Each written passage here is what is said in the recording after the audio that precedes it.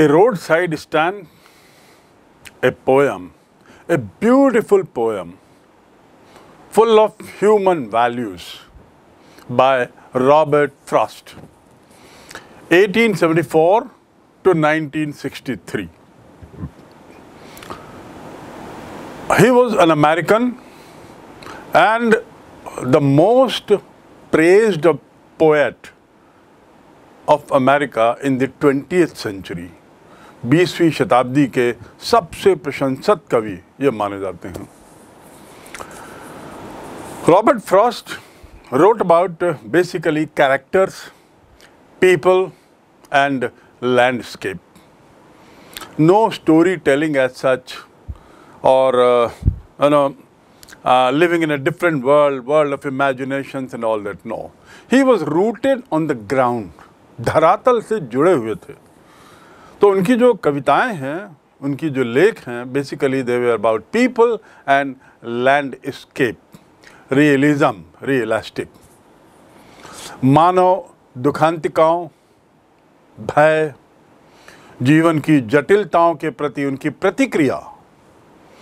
ये शब्द को समझने की कोशिश करिए। जीवन की जटिलताएँ, जीवन में आने वाली जो कॉम्प्लेक्सिटीज़ हैं, उस पर जो रिएक्शन है ह्यूमन रिएक्शन और उनकी जीवन बोझिलताओं के प्रति, उनकी स्वीकृति acceptance of the burden that one carries by living life that is what is given in the world his poems are basically concern with human tragedies दुखांत fears भय reaction to these tragedies and fears and the complexities of life And finally, the acceptance of these complexities स्वीकृति ये जो जटिलताएँ हैं इनकी स्वीकृति जो होती है उस पर इन्होंने बड़ा बहुत लिखा है बहुत कविताएँ लिखी है और ये कॉम्प्लेक्सिटी का जो भार है जो बोझ है उसको मानव कैसे सहता चला जाता है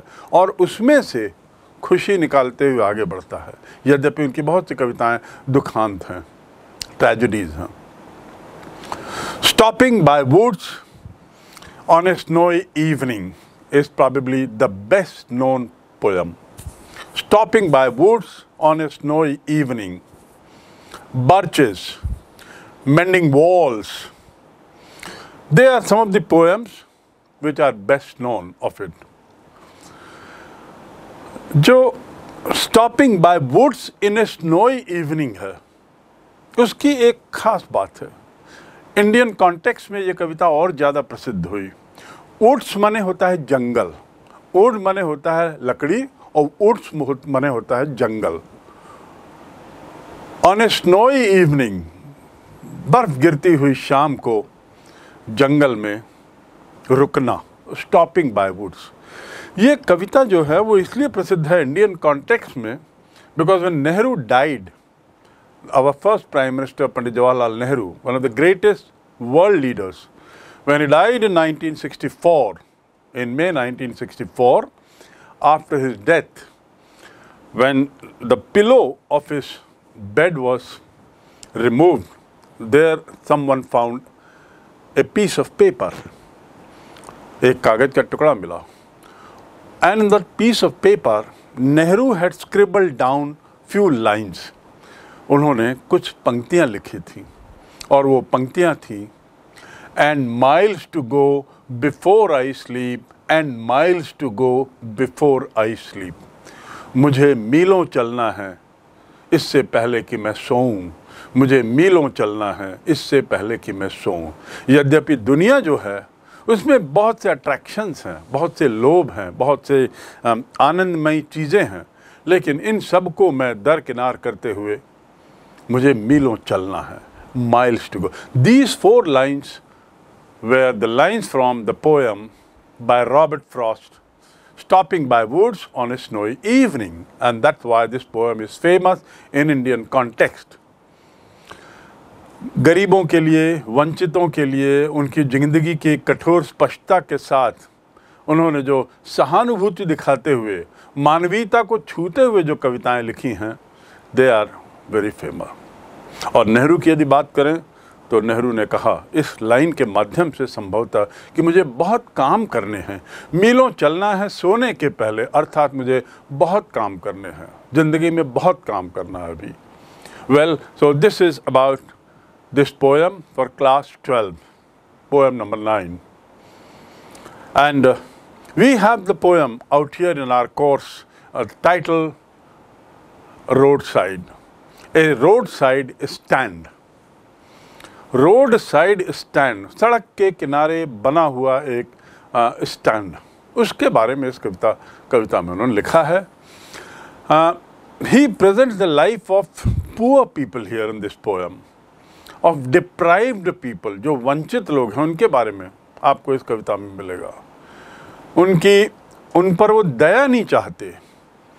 You know there is a difference between sympathy and empathy. Sympathy मतलब किसी के प्रति दया दिखाना और एम्पैथी मतलब किसी व्यक्ति की जगह पर अपने को रख कर सोचना और अनुभूत करना, महसूस करना। So Robert Frost never wanted sympathy for the poor the downtrodden गरीबों के लिए वो दया नहीं चाहते थे। वंचितों के लिए वो दया नहीं चाहते थे। उनका कहना था, अपने को उस जगह पे रखो। अर्थात he did not want sympathy for the poor he wanted empathy for the poor महसूस करो, अपने को उस जगह पे रखो। जिस जगह पे वंचित लोग हैं, जिस जगह पे गरीब लोग हैं, जिस जगह पे निर्धन लोग हैं, जिस जगह पे बीमार लोग हैं, उस स्थिति में जाओ, कुछ समय गुजारो। मन को अपने वहाँ ले जाओ। and make yourself one of those for a few minutes, for a few seconds, for a few days and hours, and you feel. So he wanted people to feel rather than just show sympathy. So this poem is about that, and a very solid poem, deepest sympathy and humanity in this poem. This poem has uh, certain characteristics. अभी जो हमने कुछ कविताएं पढ़ी इसके पहले thing of beauty joy forever और भी कुछ। They were rhymed R H Y M E D उसमें लय था। हर दो लाइन के बाद एक जैसे उच्चारण वाले शब्द आते थे तो एक राग था, एक लय था। और कंसिस्टेंट था, लगातार था उसमें। So they were called consistent rhymes उसको सुनने में अच्छा लगता है, बोलने में, पढ़ने में भी अच्छा लगता है। But this particular poem is inconsistent rhymed inconsistently rhymed ये कविता की विशेषता है कि ये इनकन्सिस्टेंट राइम की कैटेगरी में आती है। अर्थात इसमें आप लगातार हर दो लाइन के बाद लय नहीं पाएँगे राइम नहीं पाएँगे, राग नहीं पाएँगे। कभी दो लाइन के बाद है कभी चार लाइनों के बाद है। हो सकता है बीच के कुछ लाइनों में कोई राग है ही नो। इसलिए ये पोएम होते हुए भी कभी कभी एक प्रोज जैसा अनुभव देता है।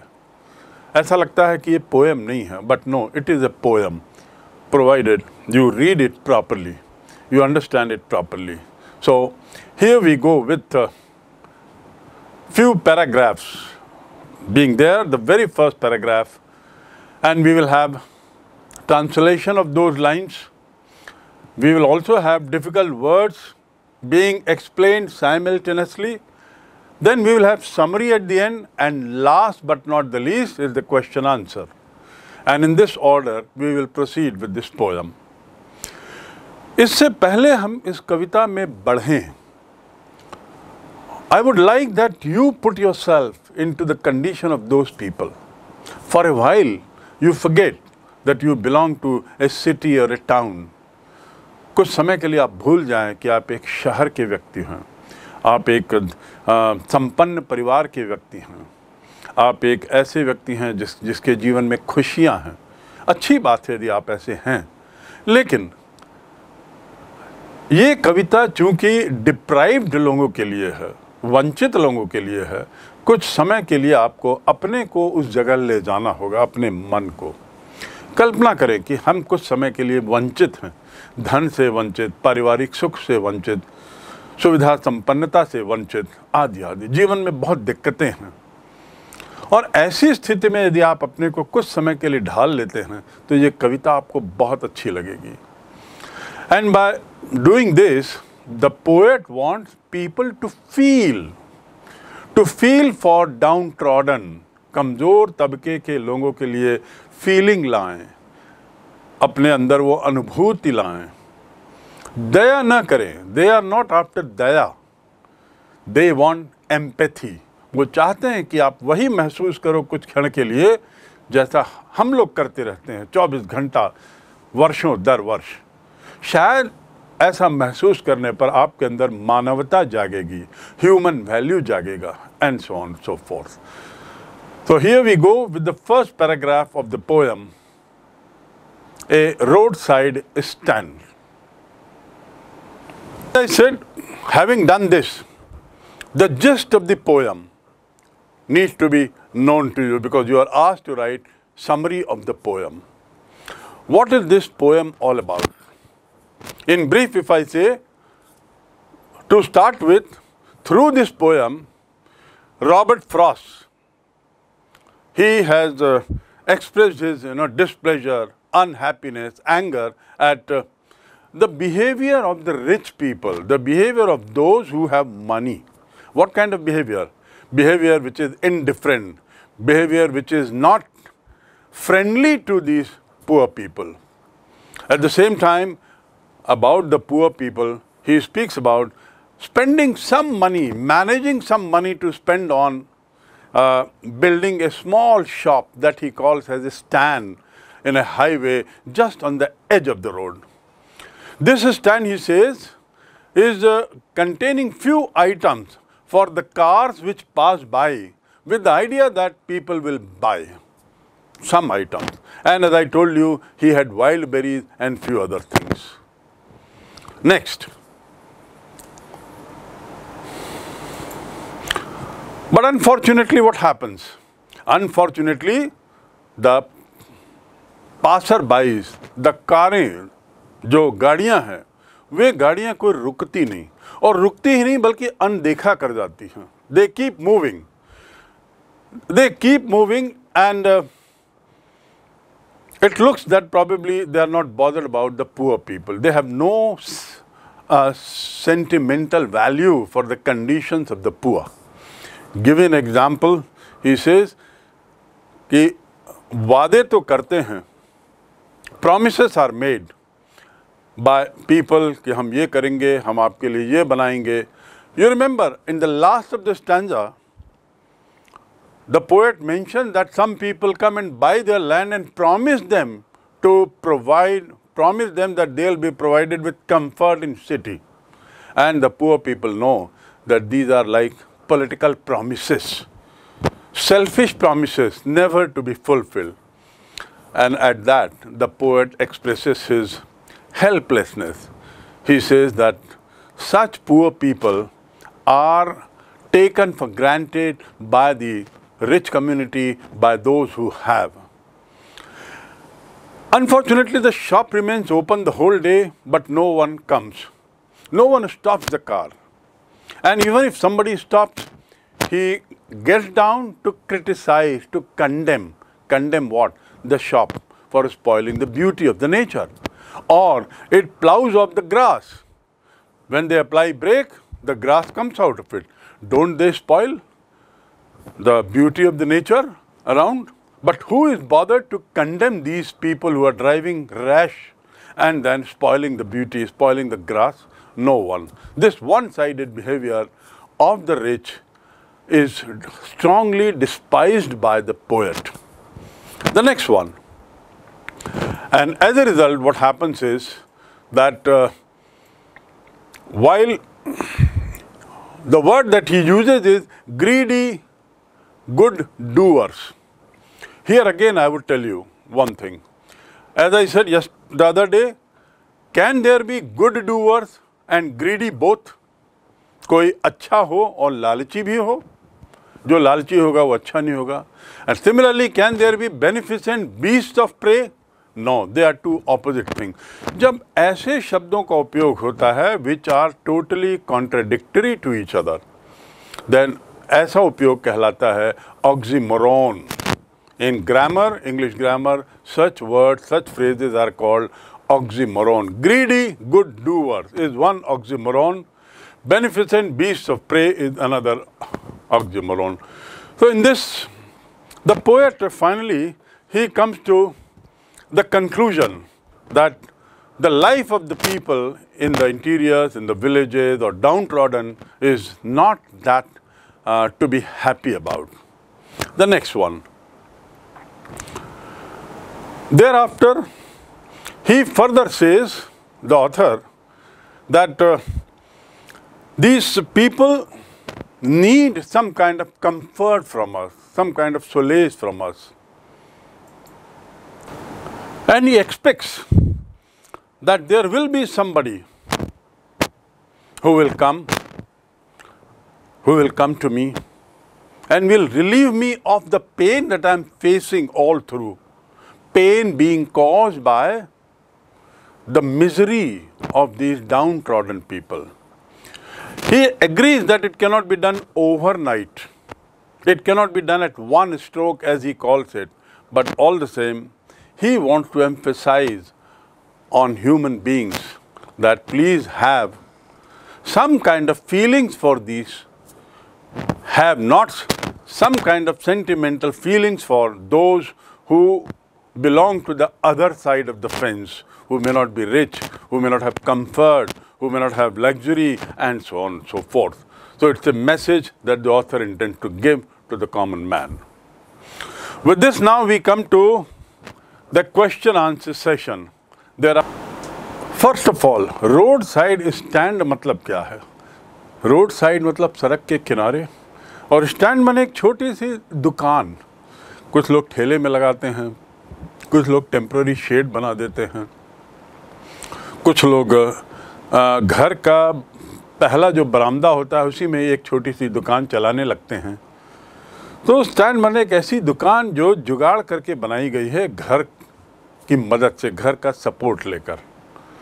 So let us start with that तो ये कविता जो है it is about a shop which is just on the side of the road protruding out from the from a house एक घर से थोड़ी निकली हुई। The lines are the little old house was out with a little new shed the little old house was out with a little new shed एक छोटा सा पुराना मकान उसमें से एक नया शेड जैसा हिस्सा निकला हुआ था जैसा आप चित्र में देख सकते हैं एक छोटा सा शेड बना दिया है और निकला हुआ and spelling is shed S H E D हम लोग बहुत शेड बोलते हैं, उसे शेड मिला है। शेड नहीं है शेड यानी कलर का अलग अलग रंग होता है। शेड लेकिन यहाँ पर शेड है। With a little new shed shed नया था, मकान पुराना था। और उस मकान की मदद से एक सामने एक दुकान जैसा कुछ निकला हुआ था। बिल्कुल सड़क के किनारे in front at the edge of the road where the traffic sped सामने इन फ्रंट यानी सामने at the edge of the road edge माने किनारा, सड़क के किनारे जहाँ ट्रैफ़िक स्पेड स्पेड बना हुआ है स्पीड से टू स्पीड माने तेज चलाना। और तेज चलाया पास्ट टेंस है, उसका पास्ट टेंस है स्पीड का sped speed sped sped where traffic sped जहाँ पर ट्रैफ़िक बहुत तेज़ी से चलता था। ट्रैफ़िक नहीं चलता है। ट्रैफ़िक तो गाड़ियों का झुंड है जो हिल रहा है, आवाजाही कर रहा है। हिलता क्या है? गाड़ियाँ। सो ये एक उपयोग है। पोएट किसी एक अन्य नाउन का उपयोग ना करके दूसरे नाउन के माध्यम से बताना चाह रहा है कि बहुत सारी गाड़ियाँ बहुत तेज़ी से वहाँ से आती जाती थी। जहाँ पर वो दुकान थी, जो दुकान मकान की मदद से, पुराने मकान की मदद से बिल्कुल नई नई बनी थी। लिटिल न्यू शेड छोटी सी दुकान। In front at the edge of the road where the traffic sped तो hope you understood the meaning of the word sped जहाँ पे ट्रैफ़िक बहुत तेज़ी से आवाजाही कर रहा है। गाड़ियाँ बहुत तेज़ी से आ जा रही हैं। A roadside stand that too pathetically pled. A roadside stand that too pathetically pled. Pathetically मतलब करुणा के साथ, दया के साथ, करुणा के साथ एक वो जगह, सड़क के बिल्कुल किनारे जो दुकान थी, बहुत छोटी सी लेकिन नई, पुराने मकान की मदद से जोड़कर उससे बनाई गई थी वो जो रोड साइड स्टैंड था रोड साइड स्टैंड मतलब वो दुकान पैथेटिकली प्लेड वो करुणा की पुकार कर रहा था। प्लेड कहाँ से बना? Plead pled pled to plead मने बहुत आ, क्या करना चाहिए? याचना करना। बहुत आ, आवाज़ देना। याचना करना। प्लीड प्लेड प्लेड तो वो जो दुकान है road side stand is pleading वो बार बार याचना कर रहा है। क्या दुकान कभी याचना करती है? दुकान की तो आवाज़ नहीं होती। लेकिन दुकान की याचना से तात्पर्य कवि का है पोएट का, कि उस दुकान का दृश्य ऐसा छोटा सा था कि देखें तो दया आ जाए। पुराना मकान, उसकी मदद से एक छोटी सी दुकान खुली हुई। और ऐसा लगता था, मानो वो दुकान प्रतीक्षा कर रहा है लोगों की कि लोग आए और उससे वहाँ उतरें और सामान खरीदें। A road side stand that too road के किनारे बनी हुई दुकान और वह भी करुणामयी आवाज़ निकालता, करुणामयी तरीके से प्लीड कर रहा है, अनुरोध कर रहा है, याचना कर रहा है। क्या? आओ, मेरी दुकान में आओ। मैंने यहाँ सजाया है सामान, खरीदो। पर दुकान तो याचना नहीं करती। पर ऐसा बताते हुए कवि ये कहना चाहता है कि उस दुकान के लोग अपेक्षा कर रहे हैं कि आने जाने वाला जो ट्रैफ़िक है, जो तेज़ी से आ जा रहा है, आवाजाही कर रहा है, वो रुके, कुछ गाड़ियाँ रुकें और वहाँ से कुछ खरीदे हमसे। ये याचना है। लोगों का अपेक्षा है, वहाँ के जो जिसने दुकान लगाई है, उसकी अपेक्षा है, उम्मीद है। ऐसा होता है कि नहीं? हम लोग जब एक शहर से दूसरे शहर जाते हैं तो जंगलों में अचानक आप एक दुकान पाते हैं, बीहड़ जंगल में। और वो दुकान भी जो है, वो किसी मकान की मदद से बनी होती है, झुग्गी झोपड़ी रहती है, उसकी मदद से एक दुकान को खोल लेते हैं, कुछ सामान रहता है। और हम लोग तेज़ी से गाड़ी चलाते हुए चले जाते हैं। आवाजाही बनी रहती है। और ऐसे में यदि ऑथर का कहना है पोएट का कहना है कि वो दुकानें आपकी प्रतीक्षा कर रही हैं। चाह रही हैं कि आप रुको, चाह रही हैं कि आप यहाँ आओ, हमारे सामान को देखो, पसंद करो और ख़रीदो। But for some of the money well a road side stand that too pathetically pled plead से बना pled it would not be fair to say for a dole of bread poet से ये कहना उचित नहीं होगा। It would not be fair to be fair मतलब उचित होना। नॉट टू बी फेयर मतलब अनुचित होना। उचित ना होना। याद रखेंगे फेयर का अर्थ होता है उचित। Your behaviour is very fair तुम्हारा व्यवहार जो है बड़ा न्यायोचित है फेयर है, उचित है। फेयर मैंने गोरा भी। और मैंने पूर्व की कविता में बताया था F A R E fare यानी मेला। फेयर मैंने किराया। F A I R fair यानी मेला भी होता है। फेयर यानी गोरा भी होता है एफ़ ए आई आर और F A I R fair मतलब उचित।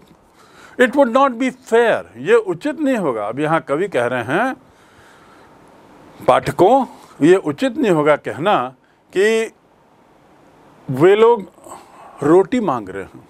याचना कर रहे हैं। दुकान से ऐसा लग रहा है, मानो वो करुणा मई याचना कर रहा है कि आओ, हमसे कुछ खरीदो। याचना कर रहा है कुछ। तो कवि का कहना है, वो याचना रोटी के लिए नहीं कर रहे हैं। वो भीख नहीं मांग रहे हैं। They are not begging they are not begging भीख नहीं मांग रहे हैं। वो कुछ मांग नहीं रहे हैं। वो किसी चीज़ की एवज में कुछ चाहते हैं। It would not be fair for a dole of bread कि वो रोटी के टुकड़े के लिए, अर्थात भीख मांग रहे हैं कुछ। नहीं, ऐसा नहीं है। दान नहीं मांग रहे हैं वो। वो दान नहीं मांग रहे हैं। डोल ऑफ़ ब्रेड डोल मैंने दान। पैथेटिक मैंने बहुत करुणा के साथ। और जैसा मैंने बताया, छोटी सी दुकान में ये दृश्य चल रहा है। कल्पना करिए, अपने को ले जाइए उस जगह। किसी एक शहर से दूसरे शहर जाते हुए रास्ते में जब ये आप गाड़ी से, मोटरसाइकिल से या कार से या बस से जाते हैं तो एक दुकान दिखती है। कल्पना करिए वहाँ का क्या दृश्य है। वो दुकान आपको बुला रही है। आपको अनुरोध कर रही है, आइए। लेकिन कवि कहता है, इसलिए नहीं कि वो दान मांग रही है। इसलिए नहीं कि वो भीख मांग रही है। No but for some of the money the cash whose flow supports लेकिन वो लोग ब्रेड का दान नहीं मांग रहे हैं, पैसे का दान नहीं मांग रहे हैं, भिक्षा नहीं मांग रहे हैं। वो लोग चाह रहे हैं कि हमसे कुछ खरीदो। For some money for cash whose flow supports flow मतलब क्या है? इकोनॉमिक्स के आप लोग विद्यार्थी हैं तो आप लोग समझते होंगे कि पैसा यदि तिजोरी में ही रखा है उसका उपयोग नहीं हो रहा है। तो पैसा कोई काम का नहीं। पैसा बढ़ेगा नहीं। पैसे को आप जितना फ्लो में लाएँगे, जितना उसको उपयोग करेंगे, जितनी खरीदारी करेंगे, उतना ही उसकी कीमत बढ़ती है, पैसा भी बढ़ता है।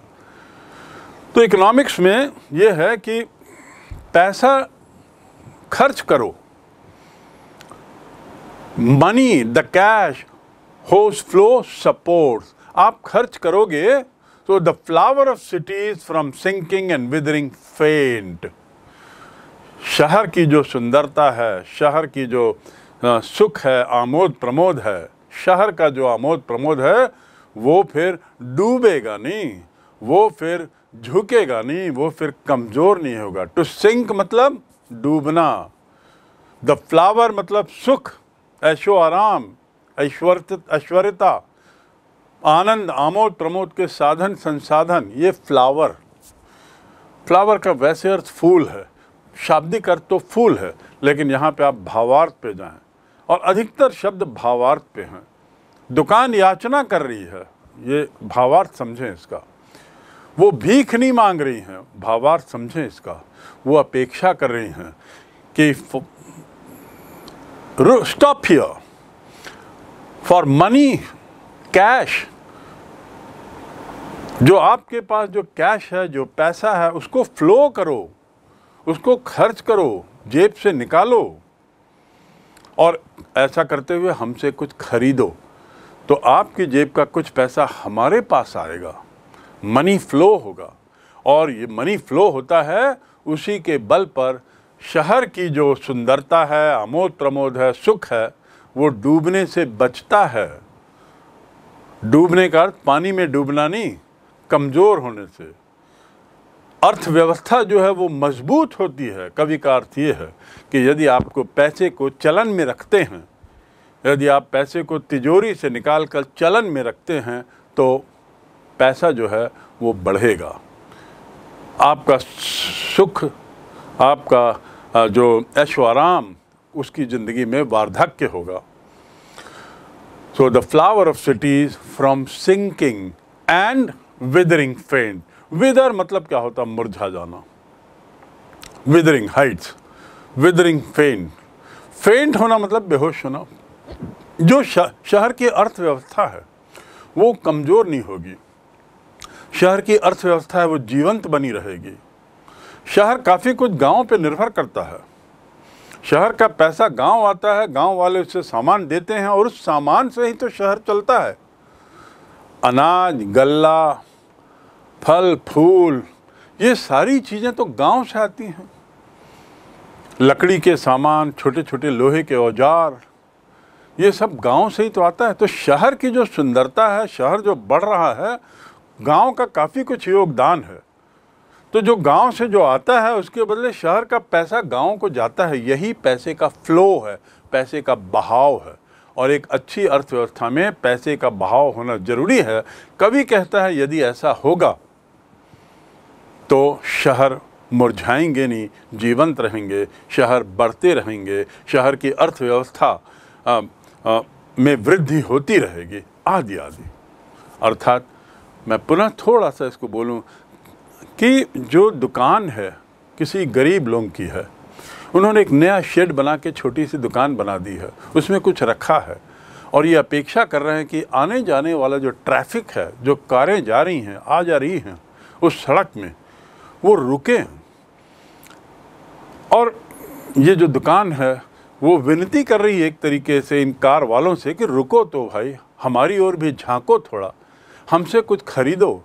अपना कुछ पैसा जेब से निकाल कर हमको दो, लेकिन हाँ दान नहीं मांग रहे हैं।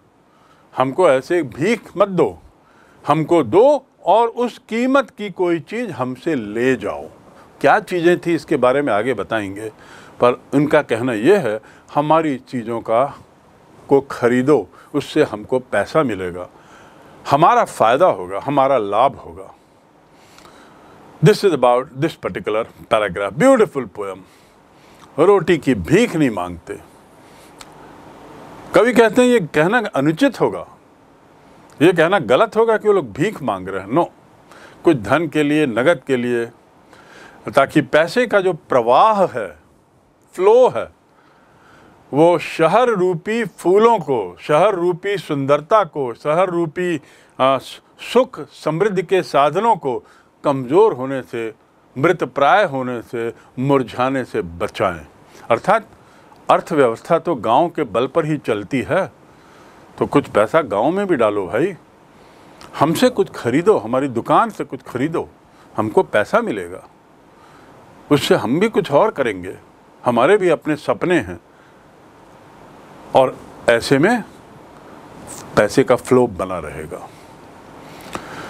Now we come to para two उम्मीद है आप इस पैरा वन में समझ गए होंगे कि कवि निर्धनों के पक्ष में कितने सार्थक तरीके से अपनी बात कह रहा है।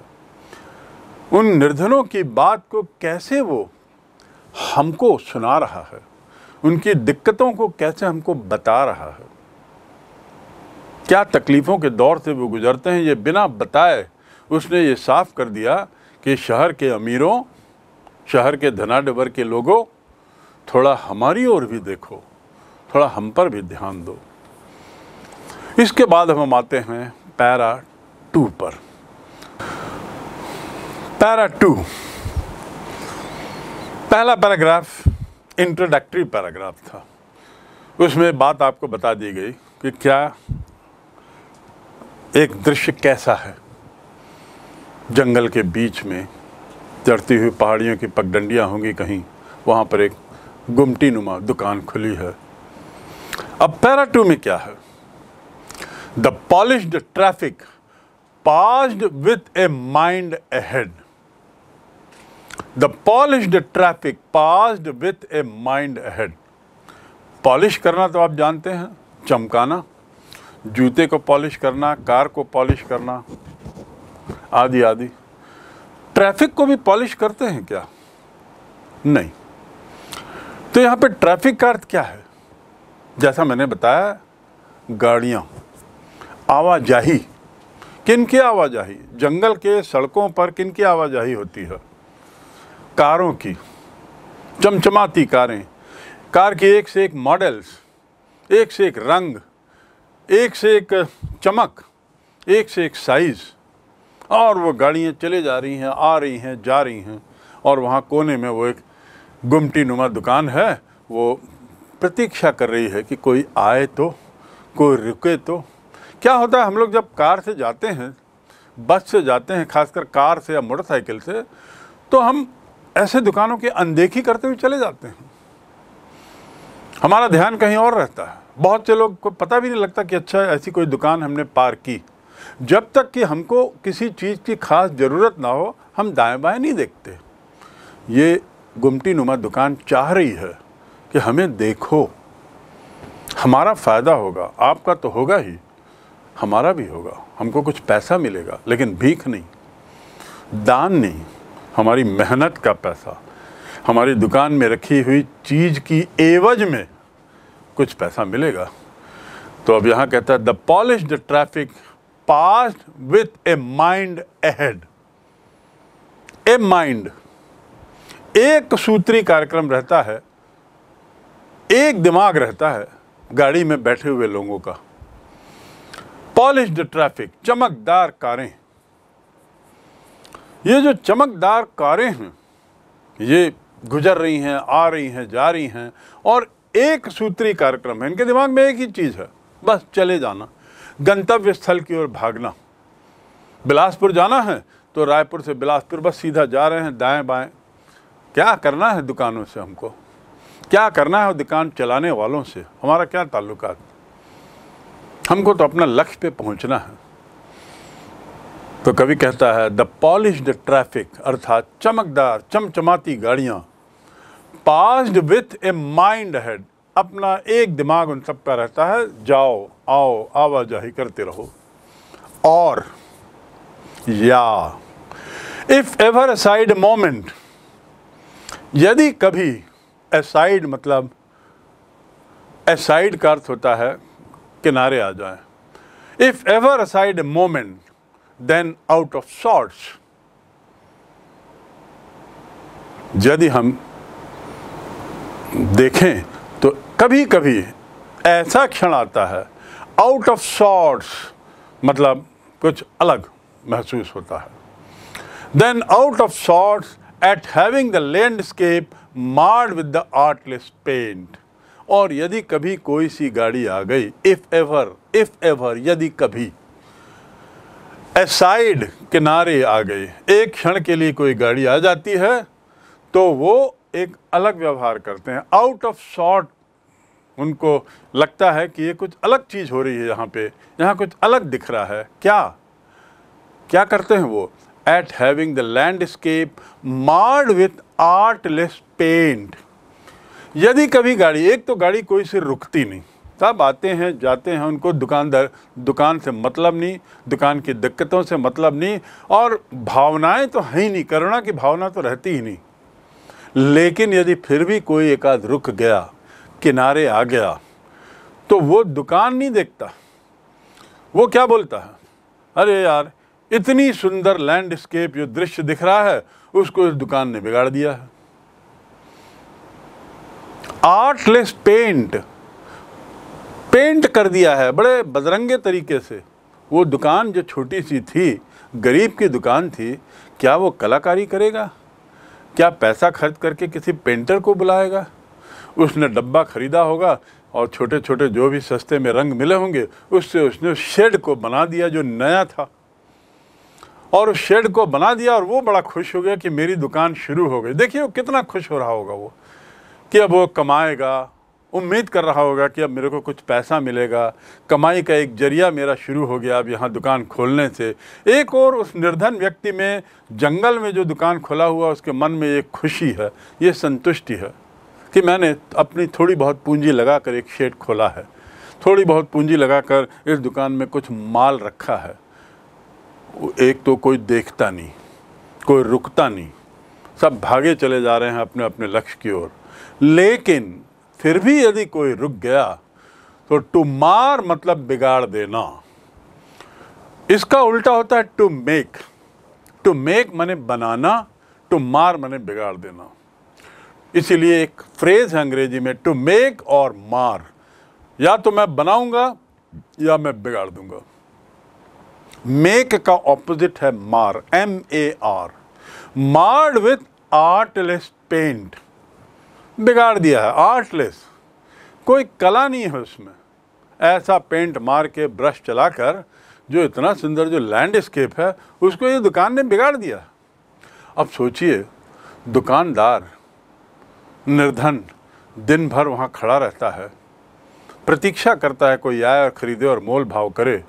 और देखता है एक गाड़ी रुकती है। सोचिए उसको कितनी खुशी हो रही होगी। अरे गाड़ी रुकी, कोई ग्राहक आया, शायद माल खरीदेगा, मेरे को कुछ पैसा मिलेगा। इस उम्मीद में वो ना देखता है मुस्कुराता है। भगवान से प्रार्थना करता है कि हाँ ग्राहक रुके और उसे वो कुछ चीज़ खरीदे। तो यहाँ तो उल्टा ही दृश्य है। एक गाड़ी रुकती है कभी कभी और वो गाड़ी के लोग आलोचना करने लगते हैं, खामियाँ देखने लगते हैं। ये कहने लगते हैं, यह, ये देखो, ये दुकान खोल के बैठ गया यहाँ और ये जो दृश्य है, मनोरम दृश्य, इतना विहंगम दृश्य, इस जंगल का, इस पहाड़ी का, उसमें एक धब्बे जैसा ही काम कर रही है दुकान। सारी सुंदरता को बिगाड़ दिया है, उसने मार कर दिया है। और वो भी ऐसे हल्के फुल्के पेंट से। मतलब ये गाड़ी वाले लोग चमचमाती कारों में आने जाने वाले लोग, दूसरे शब्दों में धनी लोग, इनमें निर्धन लोगों के प्रति कोई भावना नहीं रहती।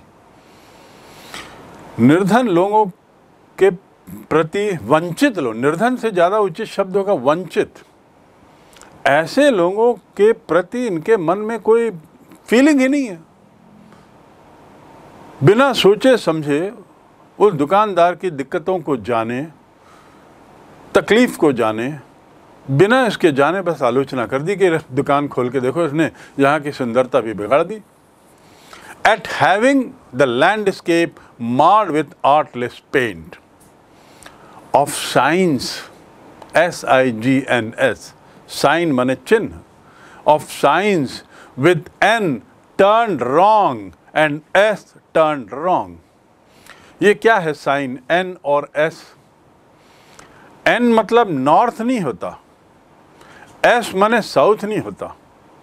आप जब लंबी यात्रा में निकलेंगे 50-100 किलोमीटर की रोड की यात्रा पर तो कभी कभी आप पाएँगे कि खासकर पहाड़ियों में या घुमावदार सड़कों में एन चिन्ह का एक साइन बोर्ड रहता है।